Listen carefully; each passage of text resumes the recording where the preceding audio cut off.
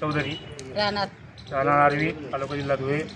मला दोन महिन्या पहिले यांचा नंबर भेटला. हो यांना दोन महिन्यापासून मी कॉन्टॅक्टमध्ये होतो. की हे सांगताय चांगली मुलगी गरिबाची. तुला संसार होऊन देईल बा. तू आम्हाला दीड लाख रुपये दे. तुला संसार लावून देतो आम्ही. मग मी पैसे इकडे याच्या वस्तू वास्तू शेती गाण ठेवून यांना पैसे दिले. दोन तारखेला दोन दोन दोन हजार बावीस. धुळे कोर्टामध्ये रजिस्टर लावलं. दिवशी लग्न लावलं. नंतर रातभर आले आमच्याकडं. हे दोन्ही जणी नवरा बायको आणि यांच्यामध्ये म्हणजे एक दुसरी बाई होती ती बी आली. यांना उद्या उठून पैसे याच्या ताब्यात दिले जाऊ शकत ताब्यात मी एक लाख तीस दीड लाख रुपये त्यांनी सांगितलं ठीक आहे तुला संसार तू कर आणि आम्हाला जाऊ दे म्हणे. त्या परत मुलगी माझ्याकडे चार दिवस राहिली. यांनी आधी सांगितलं त्यांनी हे दोन्ही नवरा बायको मुलगी फक्त तुला एक इतकं सांगतो का चार दिवस आहे आणि पाचशे रुपयाची आलं म्हणे भुसाला घेऊन यायला. म्हणजे मला तुम्ही घेऊन या बुवा काही बी नाटक करू. मग तिला आम्ही भुसावर घेऊन गेलो. भुसावर घेऊन मला समजून गेलं की हे काहीतरी येडराय करताय मुलगी पाहू शेवट मी माझ्या हिंमताने मुलगी तिकडून आणली गावावर आडवीला परत तिला दोन दिवस ठेवलं मी. हो पण तिची इच्छा नाही होती राहायची. तिचा मी तिचा मावसाचा नंबर भेटला मला. त्या मावशी संगी बोललो मावशी संगी बोललो तो मग तिने सांगितलं की माझी मुलगी शुक्रवारी पाठवून दे. मग तिला मी धुळे बस स्टँडमध्ये घेऊन आलो. संध्याकाळी पाच वाजता जळगाव गाडीमध्ये बसवलं तिकीट काढलं तिकीटचा फोटो बिटो सगळं काढून घेतला. आणि ती आत्महत्या असं म्हणत होती मी तुम्ही तिथं राहणार नाही तर मी म्हणून जाईल बा कुठं गॅसची नाही ओढायची कुठं पंख्या लटकायची तर मला इथं राहायचं नाही मग मी म्हणजे आता गरीब म्हणजे मला समजायचं म्हणजे हे नाही होतं. ते आपण गरीब म्हणून फसून गेलो तिला सुखरूप घरी देऊन तिच्या मावसा मावशीने मला आश्वासन दिलं काही बी राहतो तुझा स्वतः करून दिली मी तर मी त्याच्या भरसावर भरोसा गेलो आणि यांच्या दोनच्या भरोसा गेलो.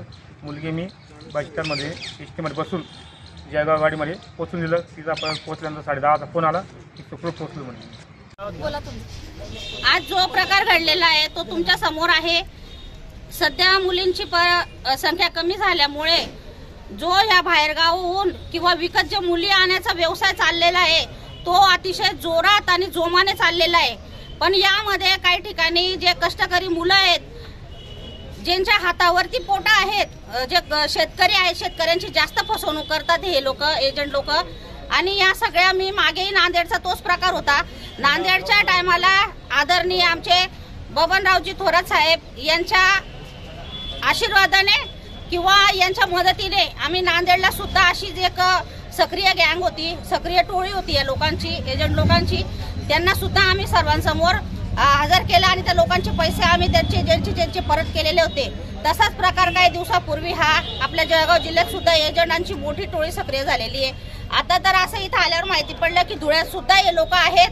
तर मी लोकांना सुद्धा आवाहन करू इच्छिते की ह्या ह्या लोकांपासून तुम्ही सावध व्हा. हे कुठले लोक आहे? कुठली मुलगी शोधते शोधतात आहे आणि ती सून आपल्या घरात कुठल्या प्रकारची सून येते या चोट्या बामट्या पोरी आपल्या घरात घुसून म्हणजे एजंट लोक पैसे तर घेतातच पण त्याबरोबर या पोरी घरावर हात साफ करून सरी तिसऱ्या चौथ्या दिवशी पहिला मजला असो दुसरा मजला असो काय कुठं बाहेर निमित्ताने जाणार कोथंबीर आणते आमका आणते गल्लीमधून डायरेक्ट पोबारा करतायत. तर सगळ्यांना आव्हान करते मी हे साईडला बसले लोक यांना आम्ही सकाळी जळगावहून इथं आणलेले आहे. माझ्यासोबत आर्मीचा हा मुलगा आहे. कुठे गेला तो? हा सचिन नावाचा पोरगा आहे. याचा दोन तारखेला यांनी रीतिरिवाजाप्रमाणे एकविरा देवीला लग्न केलं आणि कोर्टामध्ये सुद्धा नोटरी केली वकिलाकडनं. भाऊ एकदम याच्यामध्ये होता मागच्या वर्षी त्याच्या आईचं निधन झाल्यामुळे कोरोनामध्ये त्याला आज स्वयंपाक करायला घरामध्ये बाई हवी होती. या अपेक्षाने या पोराने दीड दोन लाख रुपये खर्च केले. ती पोरगी तीन चार दिवस राहिली आणि नंतर डायरेक्ट जो पळाली तर याला असं वाटत होतं दोनदा याने फाशीचा फाशी लटकवण्याचा प्रयत्न केला. तर दिलीप दादा त्यांनी त्याला आवरलं आणि हा आमच्याकडे आल्यानंतर आम्ही त्याची मदत केली आणि या लोकांना तिथून जळगावून आज इथं पोलिसांच्या ताब्यात दिलेले तरी मी सगळ्यांना आवाहन करते परत परत करते. जे लोक असे जे पीडित असतील जे फसलेले असतील त्यांनी एक तर तालुक्याला आणि शहर पोलीस स्टेशनला यांच्या विरोधात तक्रार दाखल करावी. जय हिंद जय महाराष्ट्र. समाजात फसवणुकीचे अनेक प्रकार घडत असतात. अशाच प्रकारचा एक फसवणुकीचा प्रकार आपल्या धुळे शहर पोलीस स्टेशनच्या हद्दीत आर्वी गावाचे फिर्यादी नामे सचिन रमेश चौधरी यांची अशाच प्रकारची फसवणूक झालेली आहे.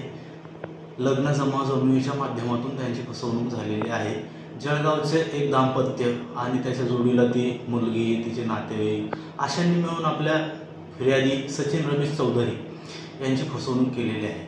त्यांनी दिलेल्या तक्रारीवरून आपण धुळे शहर पोलीस स्टेशन येथे चारशे वीस पाचशे चार पाचशे सहा पाचशे सात चौतीस प्रमाणे गुन्हा दाखल करण्यात आलेला असून त्यातील दोन आरोपींना आपण अटक केलेली आहे.